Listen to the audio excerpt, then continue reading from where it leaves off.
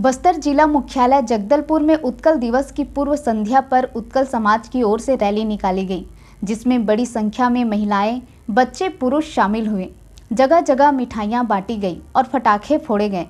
रंगारंग सांस्कृतिक कार्यक्रम का आयोजन कर स्थापना दिवस को हर्षोल्लास के साथ मनाया गया। बस्तर ज़िले में लगभग 300 वर्ष पूर्व बस्तर रियासत में उत्कल वासियों का आगमन हुआ था। जिसे यहाँ उस वक्त के महाराजा ने इंद्रावती नदी के किनारे महादेव घाट में बसाया था, जो कि आज यह जगह ब्राह्मण पारा के नाम से जाना जाता है।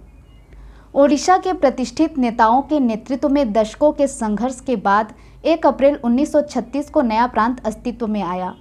एक स्वतंत्र राज्य के रूप में पहचाने जाने के बाद ओडिशा राज्य के गठन को याद करते हुए प्रति वर्ष एक अप्रैल को उत्कलवासी अपनी स्थापना दिवस को हर्षोल्लास के साथ मनाते हैं। एक अप्रैल 2022 हमारे उड़िया संस्कृति का उत्कल दिवस के नाम पर मनाया जाता है।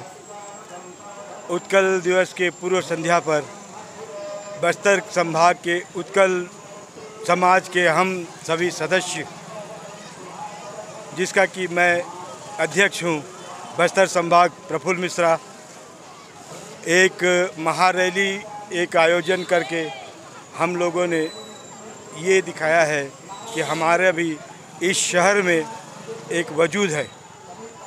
हमारा 300 साल पुराना एक इतिहास रहा है जो हमारे पूर्वज यहाँ पे आके बसे थे। हम लोग पहले हमारे पूर्वज नदी के किनारे, इंद्रावती नदी के किनारे वहाँ पे बसे थे। इंद्रावती नदी के किनारे एक हमारा पूरा मोहल्ला, जिसे ब्राह्मण पारा के नाम से जाना जाता है जो भैरमगंज पारा का नाम है, और वहीं पे हमारे समाज का एक भवन निर्मित किया गया है, जो ये समाज के लोग वहाँ जाके रैली से वहाँ पे समापन करेंगे। उसके पश्चात एक तारीख, एक अप्रैल, उत्कल दिवस होने के कारण एक सांस्कृतिक कार्यक्रम का आयोजन वहाँ किया जाता है प्रतिवर्ष। इस वर्ष भी वहाँ पे किया जाएगा, और सांस्कृतिक कार्यक्रम के पश्चात हमारे वरिष्ठ जनों को सम्मानित करने के लिए हम लोगों ने एक कार्यक्रम बनाया है। तत्पश्चात वहाँ पे हमारे पूरे समाज के लोगों को समाज की ओर से भोजन की व्यवस्था भी की गई है।